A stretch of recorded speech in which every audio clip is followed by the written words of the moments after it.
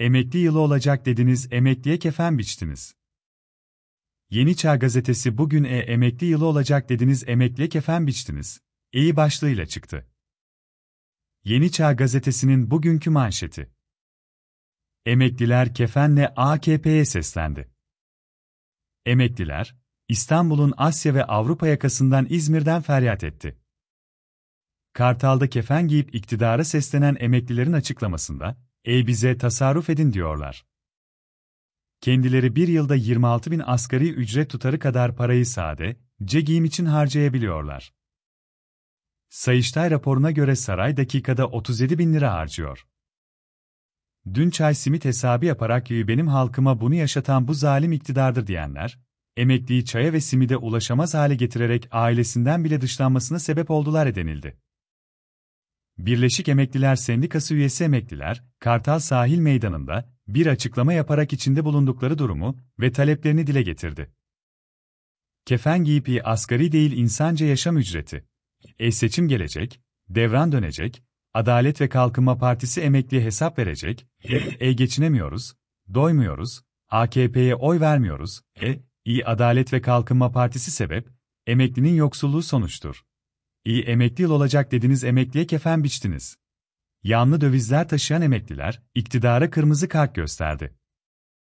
Emekliler adına ortak açıklamayı Birleşik Emekliler Sendikası Genel Sekreteri Aysel Lüle okudu. Emekliler yalı bitiyor. 23 gün kaldı. TÜİK 2024 yılı son enflasyon oranını açıklayacak. TÜİK, hiç kimsenin inanmadığı bir oran açıklayacak. Emekli maaşlarımız gerçek olmayan bu orana göre belirlenecek diyen Lüle şunları söyledi. Biraz sabır bir yıl sonra düze çıkacağız, diyorlardı şimdi ise, ekonomideki şok döneminin birinci yılını bitirdik. Ancak, geride iki yıl daha var diyorlar. Yani bizlerin, çalışanın, emeklinin iki yıl daha bedel ödeyeceğini söylüyorlar. Bize tasarruf edin diyorlar. Kendileri bir yılda 26 bin asgari ücret tutarı kadar parayı sadece giyim için harcayabiliyorlar. Sayıştay raporuna göre, saray dakikada 37 bin lira harcıyor. İnsanca yaşamak için gereken ve var olan maddi imkanları nüfusumuzun onda dokuzuna değil, faizciye, tefeciye verecekleri bir program yapıyor, bütçeyi böyle hazırlıyorlar. Dün çay simit hesabı yaparak benim halkıma bunu yaşatan bu zalim iktidardır diyenler, kalkınma planında yaşlıların sosyal dışlanmalarına karşı önlem almaktan bahsederken, emekliyi çaya ve simide ulaşamaz hale getirerek ailesinden bile dışlanmasına sebep oldular.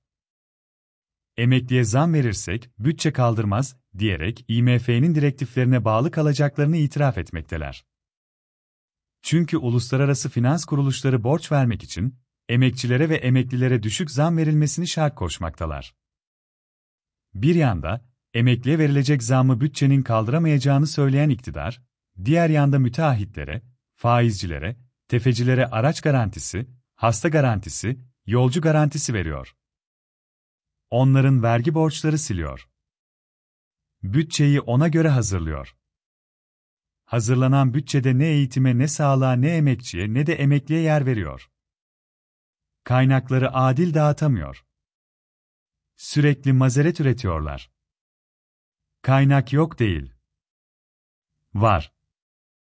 Ancak öncelik müteahhitler, bankalar, tefeciler ve yandaşları. Yaşadığımız sorunun nedeni budur.